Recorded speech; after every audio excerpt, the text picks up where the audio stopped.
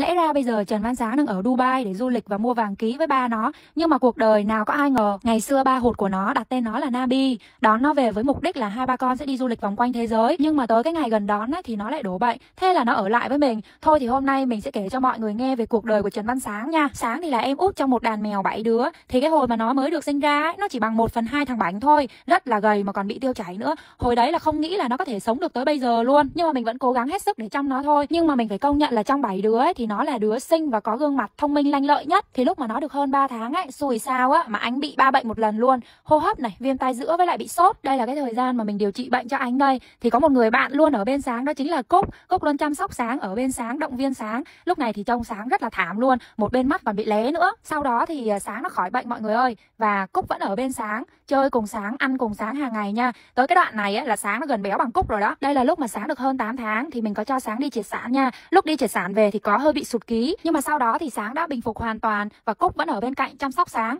Mặc dù là có đôi lúc sáng bắt nạt cúc, nhưng mà bỏ qua hết những cái chuyện đấy thì hai đứa vẫn dính như sa với nhau luôn.